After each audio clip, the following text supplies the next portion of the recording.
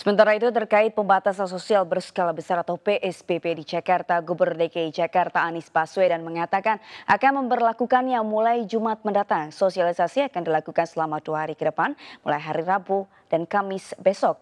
Lalu hal apa saja yang diatur dalam PSBB berikut pernyataan Anies Baswedan.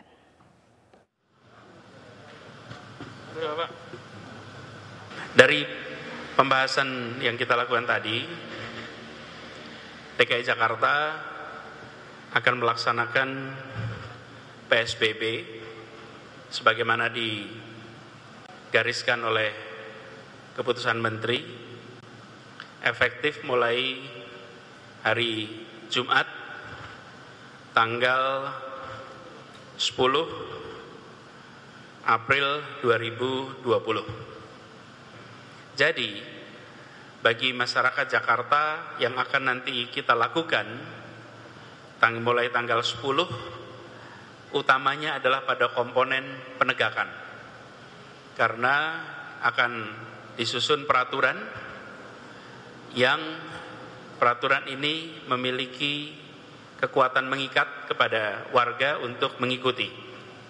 Kemudian semua fasilitas umum tutup baik itu fasilitas uh, umum hiburan milik pemerintah maupun uh, tempat hiburan milik masyarakat, taman, balai pertemuan, ruang air petra, gedung olahraga, museum, uh, semuanya tutup. Lalu terkait dengan transportasi, transportasi umum uh, di Jakarta akan dibatasi jumlah penumpang per kendaraan umum akan dibatasi juga jam operasinya menjadi jam 6 pagi hingga jam 6 uh, eh, sore. Ini berlaku untuk uh, semua kendaraan umum yang beroperasi di uh, Jakarta.